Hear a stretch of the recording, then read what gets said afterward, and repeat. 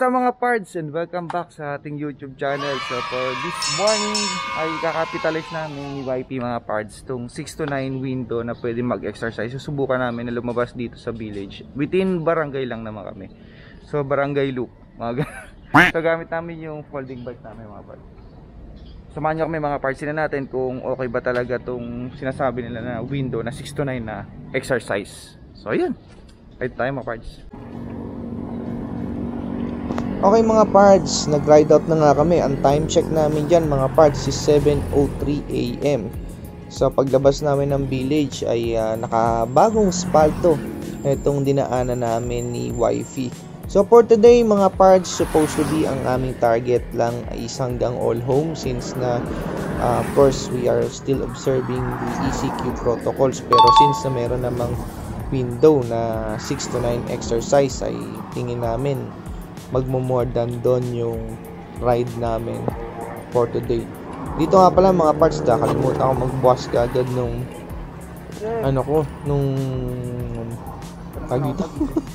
sports sports watch mga parts na oh, no! uh, yung Huawei watch ko na i-on yung exercise uh, outdoor cycling exercise so banda dito ng konti sa may makalagpas sa sumunod sa village namin napansin ko na hindi ko siya na-on. So nagkaroon ako ng struggle dyan. Ang hirap naman mga parts at uh, napakadelikado na habang nagre-ride tayo ay nagmo-multitasking tayo. So iwasan natin yun. So yun no, pinipilit kong i-open yung aking GPS uh, yun yung unang-unang tip kahit na bihas na sa pag-ride mga parts or sobrang tagal mo na nag nagbabike uh, once na gumawa ka ng multitasking while, while riding is napakadelikado talaga. So itong ano naman to itong daanan na to is mga parts more on pababa naman. Kaya naka freeway lang kami dito hanggang I think mga almost 2 kilometers ata na freeway to. So slight lang yung padjak namin dito ni YP may mga ginagawang kalsada dito sa dinaanan namin. Ito nga pala ay Governor's Drive So dito, multik pa ako sumalpak sa jeep dahil yun nga sa pagmumultitasking ko mga parts. So ayan na. So, wag na wag yung gagawin yun. Hindi ko nakita yung jeep, hindi ko napansin kagad. So, butik na ako doon mga parts. ayan na. Whoop! Okay, nakita ko. Sa. So, ayan. Si YP nga pala, ito yung pinaka longest ride na so far. Naka 20 kilometers kami mahigit dito sa ride na to knowing naman na almost wala pang one month ata or one month na siyang nag-ride ah, ng uh, folding bike. So ayan. Dito sa part na to medyo maluwag naman even though may ginagawang kalsada sa gitna. Kaya dito kami kumanan. So pinaka-importante dito mga parts uh, lalo-lalo na ako sa folding bike ay huwag nating i-underestimate pag nagra-ride ka ng folding bike So sa sitwasyon namin, lalo na sa akin, naka 1.5 yung gulong na gamit ko, masyadong manipis. Alam naman natin, nagaling ako at sanay-sanay ako sa paggamit ng MTB. So kailangan maiwasan natin yung mga lubak or konting bato or else it might cause you para sumemplang ka. So kailangan alert ka. Para ka na din naka road bike dito, I may say dahil sa nipis ng gulong na gamit ko. At sa ride na to, medyo nanibago ako mga parts dahil sobrang tagtag ng uh, experience ko sa rigid fork. Never pa ako nakagamit ng rigid fork and then parts maliit lang yung uh, diameter ng gulong. So meaning to say, lahat ng impact is absorb mo dahil sa gulong niya ay mas maliit, direct ka agad yon sa body ng rider na katulad na nangyari sa amin ngayon sa ride na to mga parts.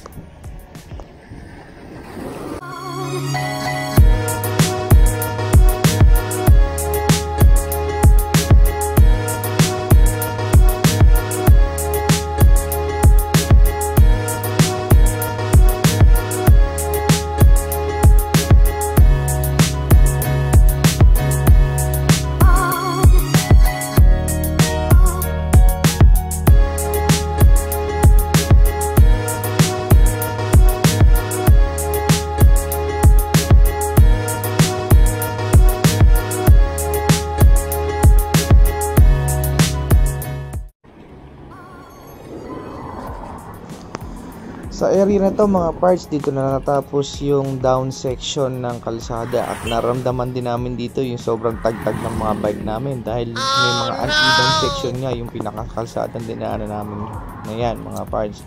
So dito, sa moment na to, pinakiramdaman ko rin kung magbabago yung spinning ni YP. So far naman, maganda yung pedaling niya. And ah, hindi naman ako nag-worry sa kanya dahil baka mamaya nasanay siya sa down section ng kalsada. So dito ang pinaka-concern ko na lang ay yung dami ng sasakyan since na ah, hindi pa siya ganong kasanay para alpasan or mag-ride sa mas mararaming sasakyan. Pero so far maganda naman yung handling niya sa bike niya. Advantage na nga dito yung pagiging maliit lang ng bike since folding bike siya. Hindi masyadong stressful pag dinalan pag dinarive or dinala or ni-ride sa mga urban ah, riding mga parts. So dito magdedire-diretso lang kami. And nag-uusap na nga kami dalawa dito kung lalagpas ba talaga kami ng more than sa may old home. And napag-usapan na nga namin or nag-decide nga kami na dumaretso na para hindi mabitin sa ride na to mga parts. Dito malaw- maluwag yung kalsada so magandang mag-ride. Meaning maraming ah, space para hindi ka mahirapan or magipit sa mga sasakyan. So that's why na-enjoy namin tong lugar na to. Ito nga pala ay malapit na sa may Tierra Nevada. So approaching na kami sa Tierra Nevada nito. Kung familiar kayo sa lugar na to, mga parts. And dito mapapansin natin na talagang kukunti lang yung mga kababayan natin or mga ah, mga ano natin, ano yan? Mga kabarangay natin na lumalabas mga parts sa mga oras na yan dahil maaga pa nga. At may mga nakasalubong din naman kami mga parts natin na, pumapadyak siguro nag exercise din sila and uh, kinakapitalize tong oras or window na 6 to 9 a.m. for the exercise. Dito mga parts, ah, bagong asfalto ulit yung dinaanan namin. So, ang sarap i-ride ng bike pa sa mga ganitong asfalto. Ewan ko lang baka sa inyo, ganun din yung experience ninyo. So, unti-unti nang magnanaraw dito yung pinaka ah, kalsada to mga parts. Approaching or malapit doon sa may all home. So, ako, nandito lang ako sa left side ni YP. Nandiyan siya sa pinaka right kaya hindi pa siya sakop ng camera. Ayan. Advice ko nga pala lalo, na sa mga, mga sa mga parts natin na mag-ride na may kasamang bago sa pagbabike ay alalay lang sa kasama nyo at make sure nyo na kita nyo siya front or side. And ito ang ginagawa rito is to make sure na safe si YP pagdating sa sa eh. pagdaan ng mga sasakyan. Kaya nakapwesto ako sa left side niya. Then dito nag-decide na ako ah, sa likod para mas kita ko siya. And makita ko rin yung ah, condition ng pedaling niya. So ayan mga parts dire-diretso kami dyan. Lalagpasan namin yung all home. Then magdi-decide kami na dumaretso pa dahil nga parang nabitin kami sa sa ride na yan. Kung hanggang all home lang kami mga parts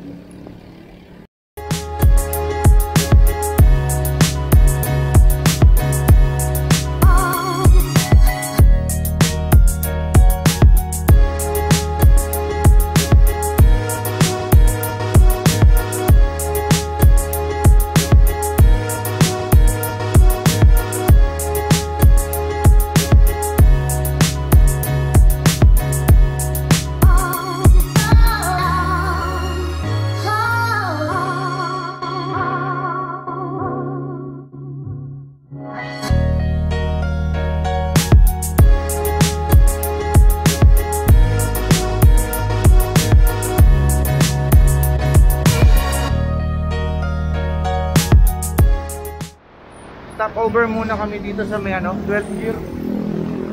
Sa 12 gear. Tapos ikot kami siguro sa may Mistral. So parang loop yung gagawin namin para wala masyadong sasakyan pabalik. Kaya lang mas mahaba yung dadaanan namin. So, yun. Pira na ulit kami mga parts. So dito sa daan na to mga parts, nasubukan ko yung patience ni YP. Dyan. Dahil tong daan ito mga parts, ito yung tinatawag na na open canal. So two-way lang talaga to.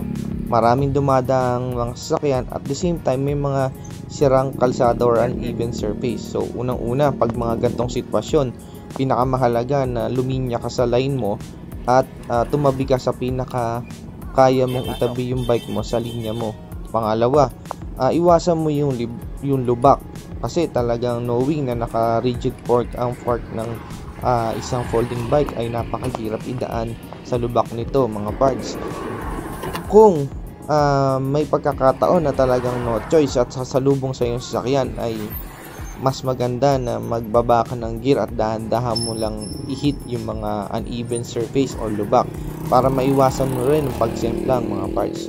So dito, naging stable naman si YP at kung nakita niyo yung pedaling niya, continuous, hindi siya masyado nagpi-free wheel. So congrats sa kanya. So yan yung una nating tinuro sa kanya, yung proper pedaling. So at least sanay siya sa mga ganyang pedalan. Mas the more na nagpi-free wheel ka, mas marami ka, mas the more na nagiging comfort ka kasi sa mga ganyang sitwasyon, mga parts. So the more na may pedaling, nagpe-pedal ka na maayos at alam mo na kaya mong pedalan hanggat maaari ay gawin mo ay continuous mo yung pedaling mo mga parts. So dito nag-decide kami na ito kasing way na to is pwede kang uh, sa ibabaw dumaan Oh, or sa baba? sa ilalim ang tawag namin sa Okay. kanan. So nag-decide kami na sa kanan na lang dumaan even though mas maraming lubak dito sa kanan kasi mas kukunti yung sasakyan. So mas ah, hindi stressful kung dito kami dumaan kaya diyan kami dumaan sa right side. So doon sa pinaka left side na yon, pwede ka rin dumaan doon, mas maganda yung daan. Kaya lang mas maraming sasakyan makakasabay doon mga parts. Kaya we ah, choose na lang na dumaan dito sa may sa mas ah, hindi stressful na daan. Ah, although may mga konting lubak or uneven surface pero kaya nang maiwasan. So ayan mga parts. Continuous lang kami dyan. Hanggang meron kami kakananan dyan na street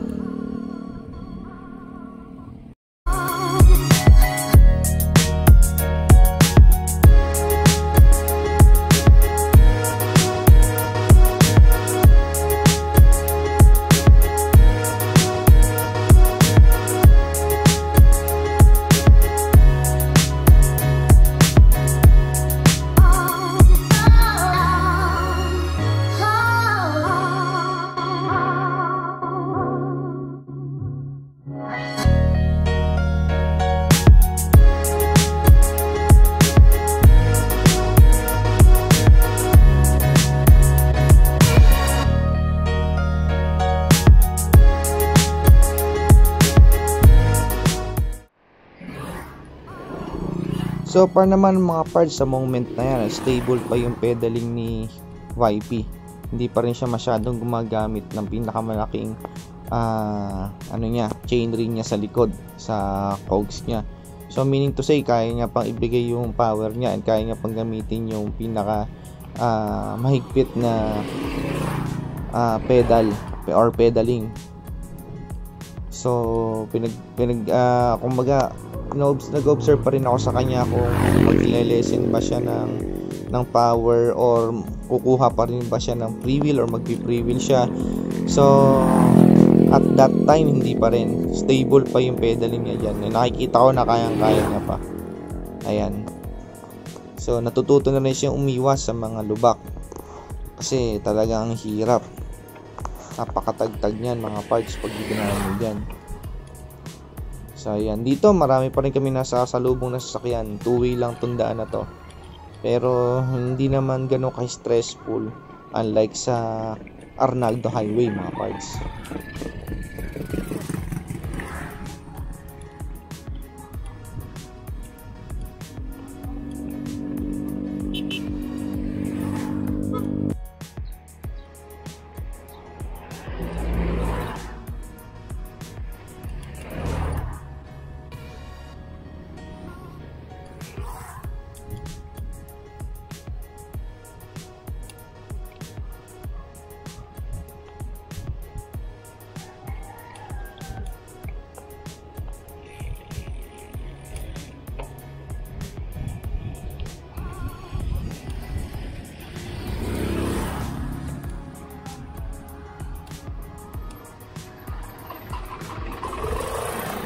Maraming humps dito.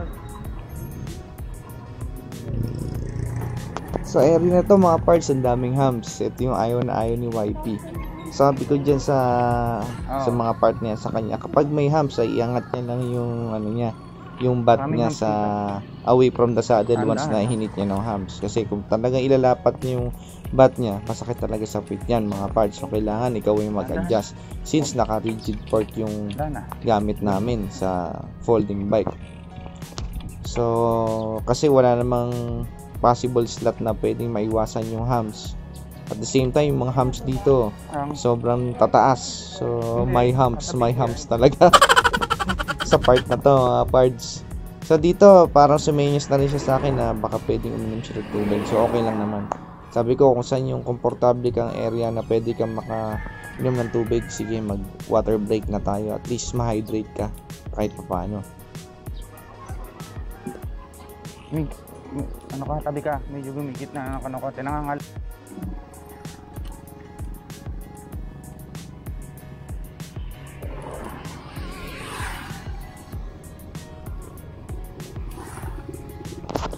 So dito sa area na to, dito yung maraming mga kurbada, mga parts. So nagbigay na ako kaagad ng warning sa kanya na alalay lang.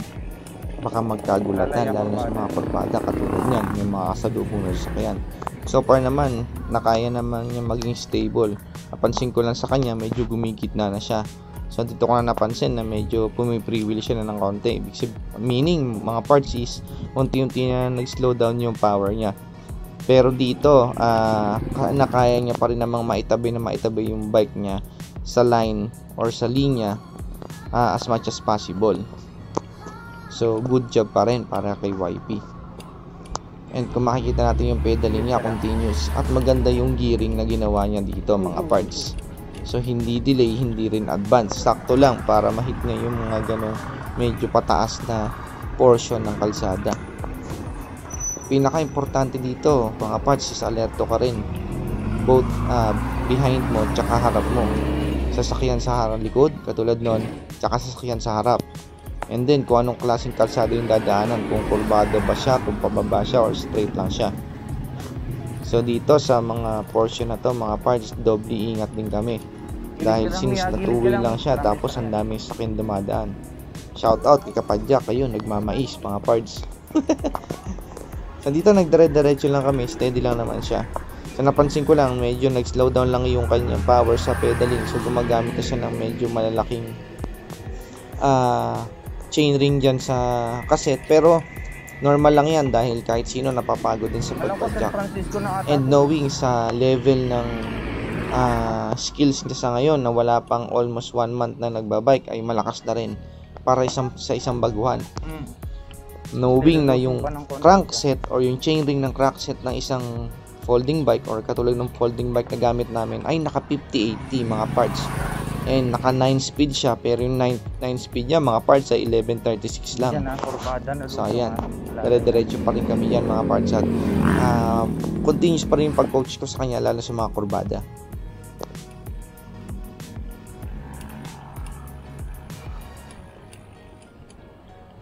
Second water break kami mga parts. Almost pila na kami. 14.33 kilometers maiksi pa rin. Pero target namin 20. Kaya naman siguro mga 20 to mga parts. Hopefully. water break muna kami. Ayos din yung ikot na yun sa Mistral. Ito na yung last part ng video namin mga parts palabas na ulit na Arnaldo Highway. After nito, ah, hindi ko kagad na i-on yung camera ko kasi medyo nagkaroon ng epic fail. Naka, ano pa siya, photo mode, hindi video mode. Yun lang. Pero at least nakita ko na yung ah, power ni YP na sustain niya hanggang makauwi kami mga parts.